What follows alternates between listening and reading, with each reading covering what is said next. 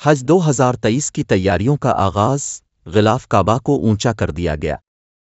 गिलाफ काबा के बालाई हिस्से पर सफ़ेद कपड़ा चढ़ाना हज और मनासिक हज के अयाम की अलामत है। सदारत आम बराए उमूर हरमैन शरीफेन ने गिलाफ कबा के जेरी हिस्से को तकरीबन तीन मीटर ऊँचा कर दिया है, जबकि बालाई हिस्से को चार अतराफ से तकरीबन दो मीटर चौड़े सफ़ेद सोती कपड़े से ढांप दिया गया।